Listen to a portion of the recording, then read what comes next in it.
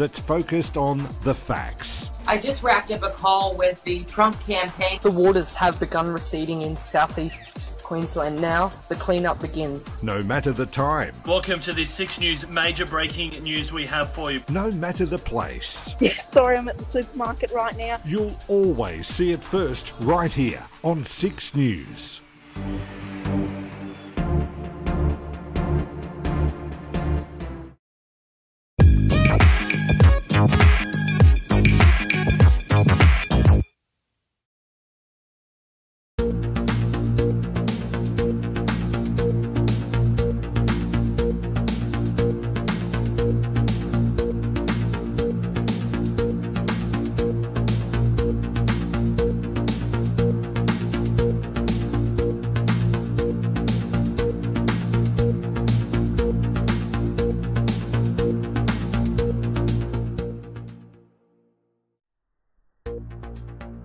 Hello, you're watching 6 News on the Hour. I'm Leonardo Puglisi. The top stories we're following right now. Multiple dead as torrential rain and flash floods hit Auckland. Locals now beginning what's set to be a long cleanup, but more rain is set to come as new storm warnings are issued. Israel to boost their military forces on the West Bank after several attacks. A 13 year old boy being named as the person behind a shooting just outside Jerusalem's Old City. David Honey vows to fight on ahead of a leadership spill within hours, now trying to hold on to the WA Liberal Party's top job in a challenge only a third of MPs are believed to be backing him, and ongoing protests expected after video was released showing police officers in the US kicking and beating Tyre Nichols, who later died. The officers now facing second degree murder charges.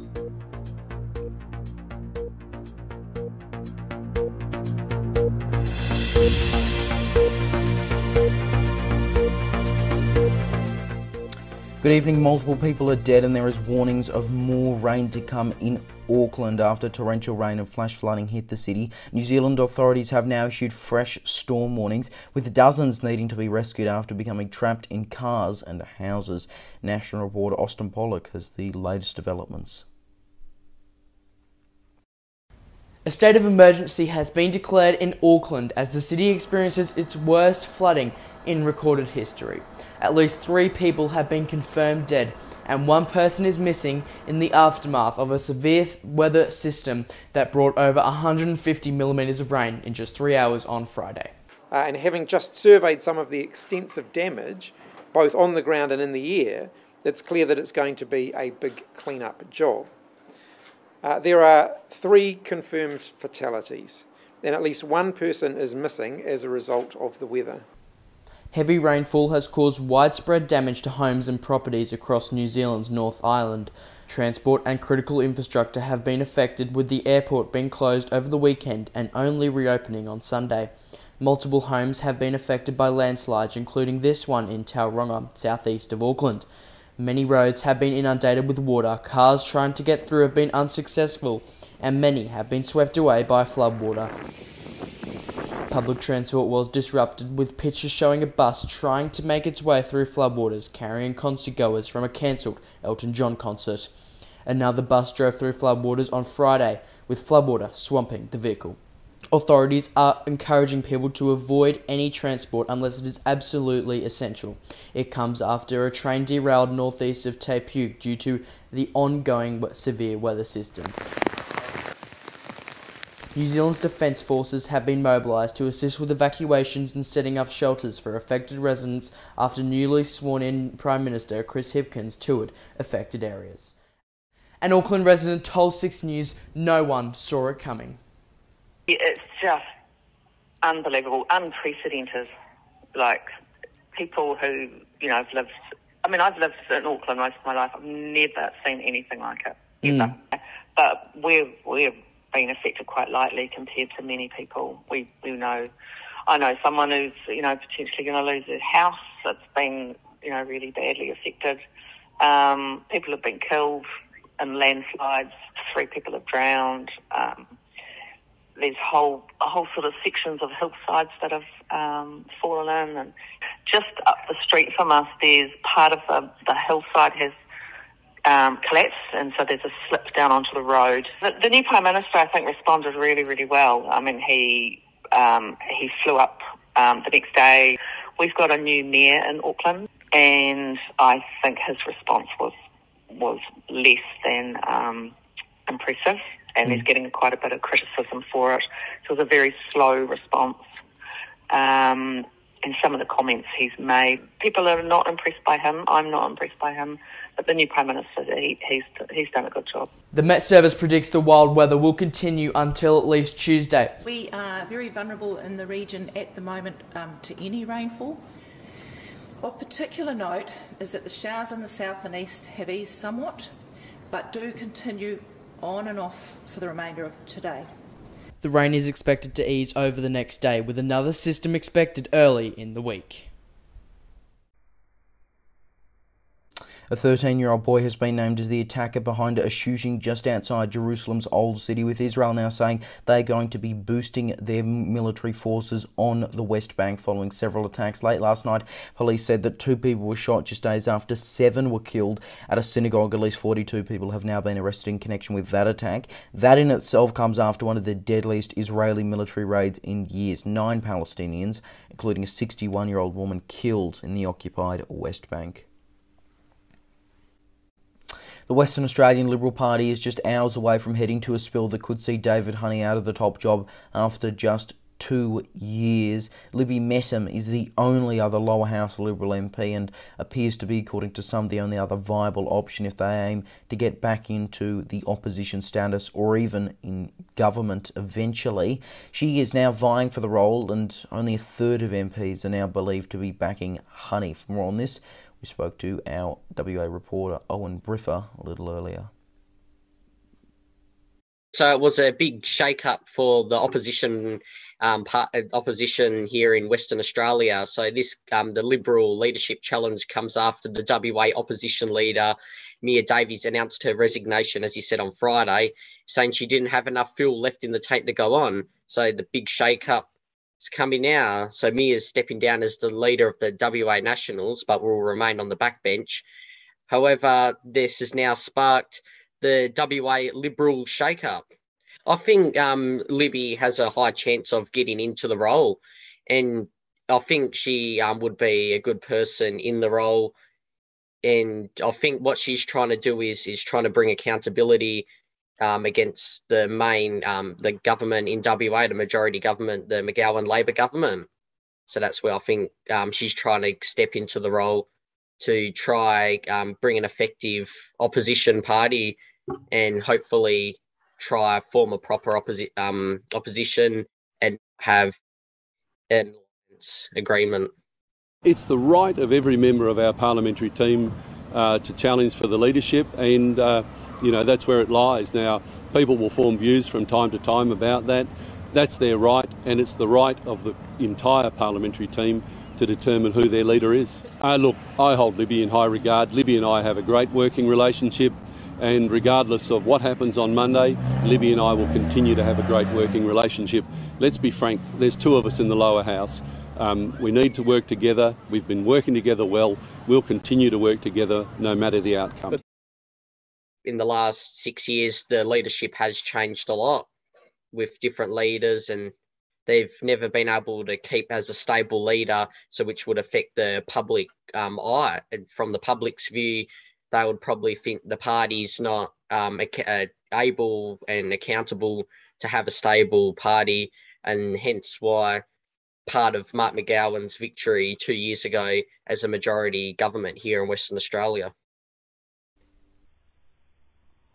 Now, Honey is vowing to fight on even if he does lose the top job. He says he will stay in Parliament and avoid a by election that could hurt the party even more. For his take, Six News also spoke to Ivan Long from WAMN News. He is in Perth to get his reaction to the spill, which is happening tomorrow afternoon, Australian Eastern Daylight Time, about 11am WA time.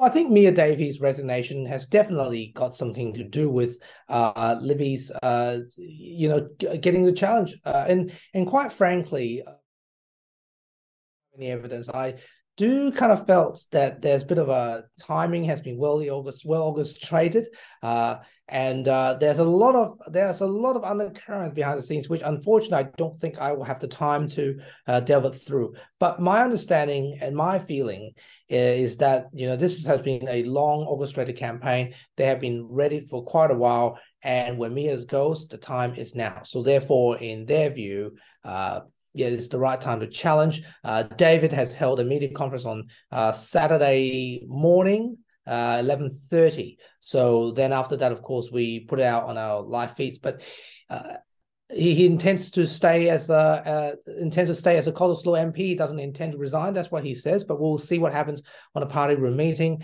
And also, when it comes to the leadership itself, he's going to contest. So it'll be very interesting to see actually who has the numbers. But uh, I would say a bit more uh, when you ask me a bit more. Now, you know, obviously with nine MPs, it's, it's not going to take long to count the vote here, but uh, do you reckon Honey actually has the numbers here and, and can survive? I've heard he's only got another two MPs who might be supporting him.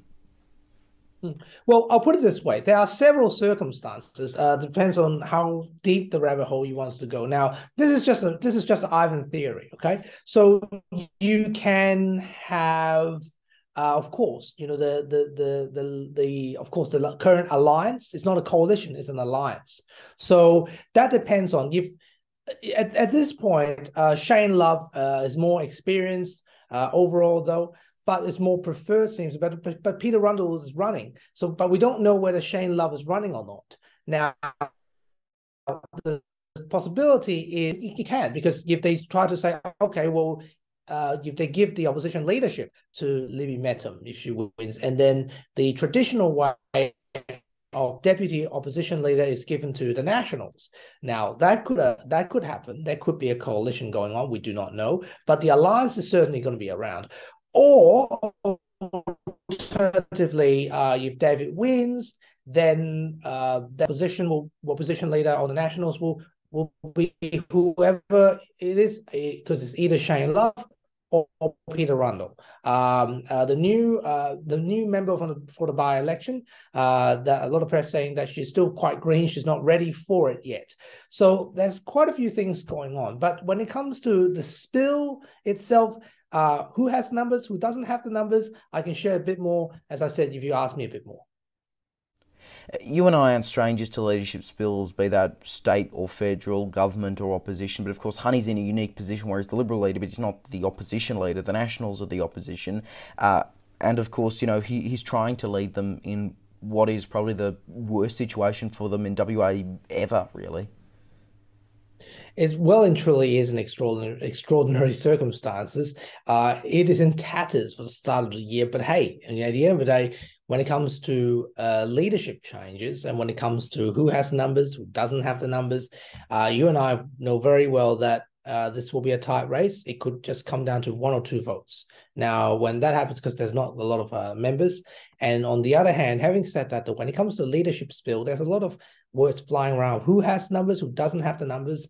Uh, of course, everyone wants to find out now. But hey, the re- uh, the reality is that these are all just rumors. I'll tell you a story. I mean, back in uh, several years ago, when Colin Barnett was still the premier, there was uh, there was a moment when Dean Nalder challenged him, and on that night, uh, before the party room meeting.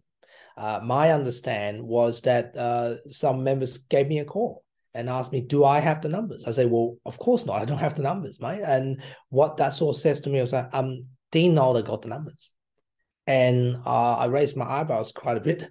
Um, so I called my staff, and we get together and say whether whether we put it out or not. We've decided not to put it out because obviously we want to uh, make sure that everything is accurate, and we don't want to be inaccurate. Uh, and it turns out, of course, that uh, Dean Nalders doesn't have the numbers. It's Colin Barnett that came out triumphed. Uh, and then uh, Mark McGowan defeated him in the 2017 state election. So, what this tells me uh, all the time is that people can say A, B, C, D, E, F, G, however they like, but prepare for both circumstances and uh, and just be open about it. I mean, that's my experience. That's my two cents on leadership challenges. The Liberal Party has easily retained the Victorian seat of Narracan in a supplementary election overnight. The election was triggered following the death of Nationals candidate Sean Gilchrist and was the last seat to be decided following November state election that saw the Andrews government re-elected with another majority. And the vote for Freedom parties, while they didn't win, is looking pretty strong. Reporter Lincoln Holmes has all the details. Finally, after more than two months of waiting, Narracan gets to have its say in the Victorian state election. Wayne Farnham easily retaining the seat for the Liberals with a primary vote of more than 40% and a two candidate preferred percentage in the 60s. The results are fairly in line with what was predicted, with both Labor and the Nationals choosing not to run at this time. The Greens and independent candidate Tony Wolf are fairly even on a primary vote in the race for second position, while so-called freedom parties have also had high vote shares. The Democratic Labour Party, which did not run initially back in November, has been leading that group of parties with between 6 to 7% of the vote, followed closely by the Freedom Party, One Nation, and Liberal Democrats. When you combine the vote of up to four to five Freedom parties, it comes to a total of more than 20%. That figure could possibly be explained by the ALP's decision not to run, despite receiving more than 31% of the vote back in 2018. Candidates have previously told 6 News that these parties have been active at polling stations on the ground they are pretty active and they're down here on the pre-polls. Um, but yeah, we have a lot of people coming through and saying, hey, like, you know, I know what's going on because, you know, I, I live here and we've just had the election. So sort of still having them ideas and, and they're probably being a little bit out left behind because, you know, everyone was really focused during the election last year um, that they've made up their minds already. And, and we have seen people coming through and letting us know that. So not needing any paper or anything. Um, but yeah, some are active and some aren't. The results mean all seats in the Victorian Parliament have now been decided, and the coalition will be left with 28 seats. That won't really affect the Andrews government majority, with the upper house instead being the place where negotiations will be required. Lincoln Holmes, 6 News.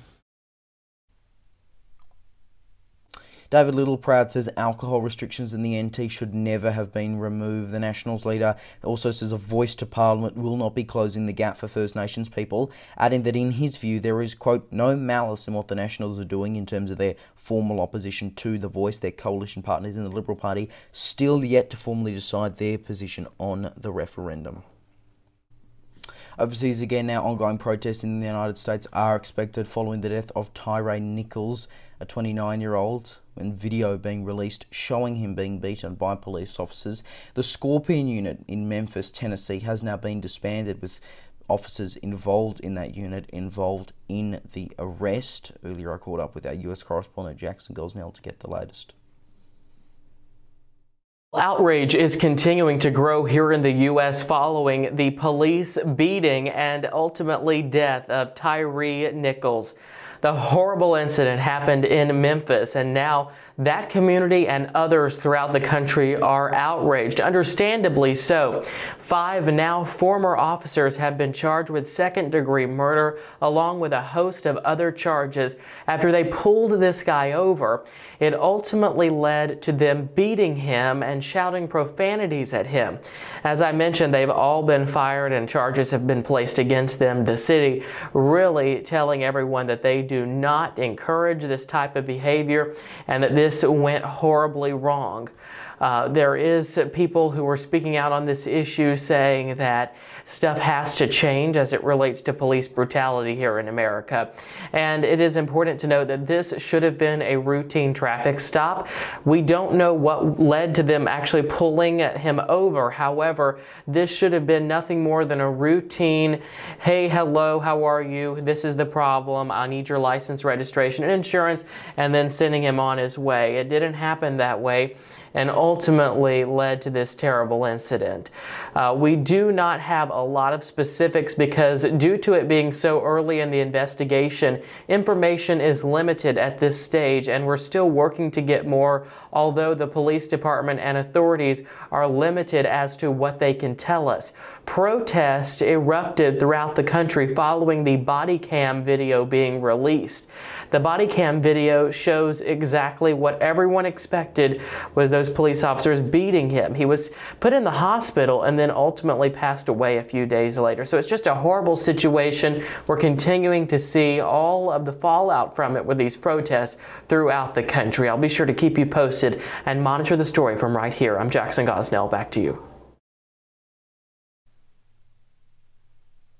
Meta, the parent company that owns Facebook and Instagram, has put Donald Trump on notice after allowing him back onto that platforms, but it'll remain to be seen whether he'll actually use them. Twitter, which he also was allowed back onto, has not been used by the former US president as of yet.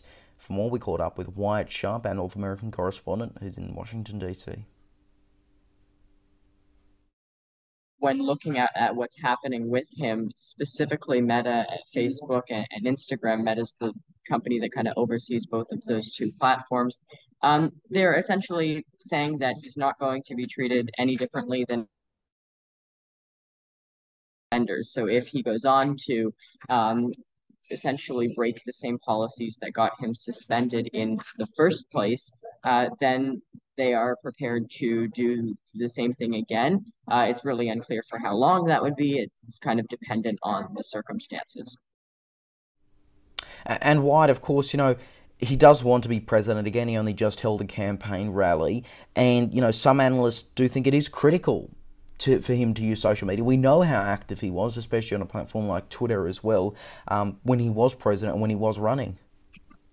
Yeah, and that's the other thing. You know, you hear and you see a lot of um, him being active on his own platform, Truth Social, but the, the fact of the matter is that the vast majority of Americans, unless they are a part of the and unless their politics are the same as the politics that Donald Trump embraces, the vast majority of Americans are not on a platform like Truth Social. They're on platforms like Facebook or Instagram uh, or, or, Twitter. Um, maybe not as much Twitter, again, Facebook and Instagram.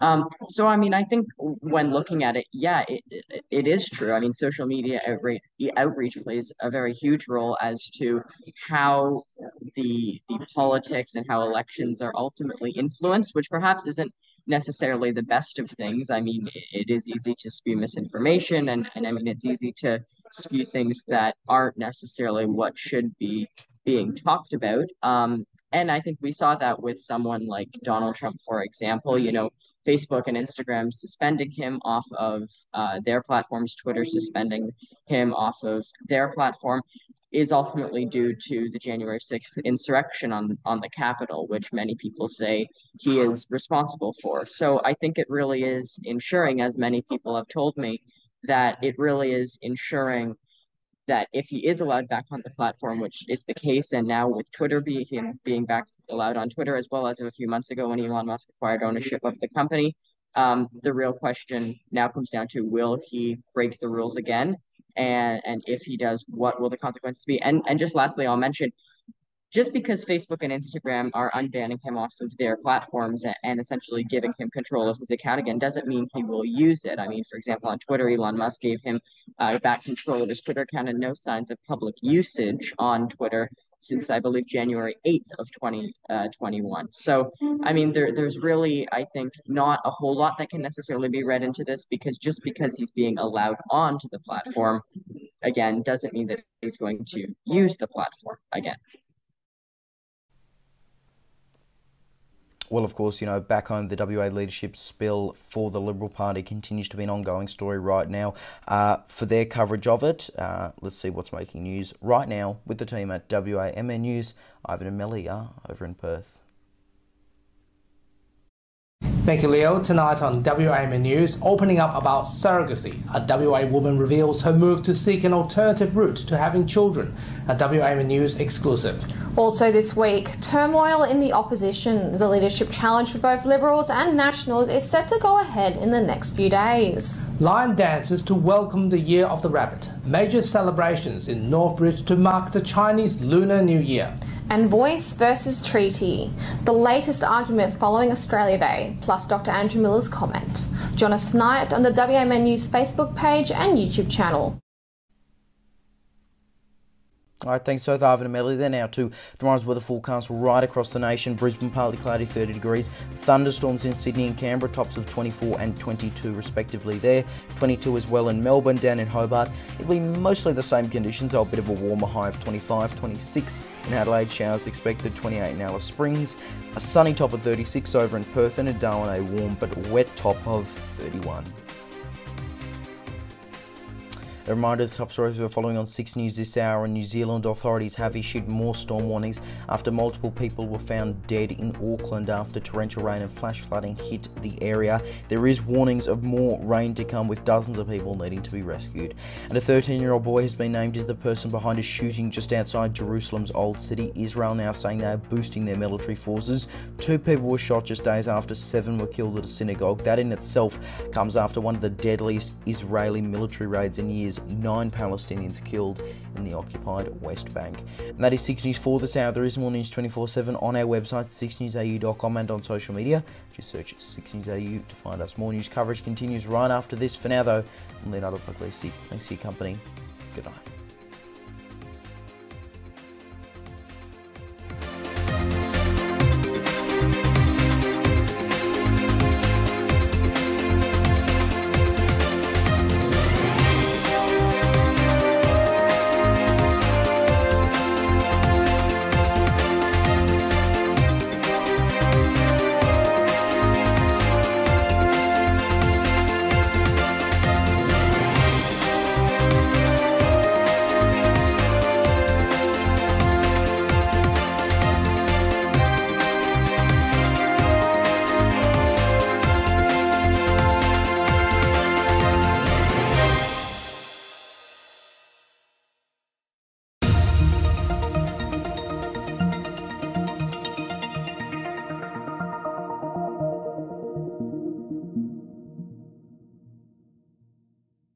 When news breaks here in the United States, 6 News has got you covered. From the big political stories to what's being talked about on the ground, we'll keep you informed with up to the minute reporting and exclusive stories. President Trump's endorsement is the biggest endorsement in all of politics, period. And that's the challenge, right? That we that's that's exactly the challenge, Stuart. Hopefully, this doesn't backfire and people just stop calling police altogether. He's taken unprecedented action, mandatory quarantines, very strict